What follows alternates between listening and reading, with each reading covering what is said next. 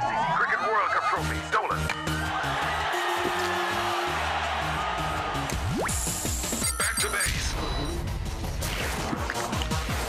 Find ICC Cricket World Cup trophy.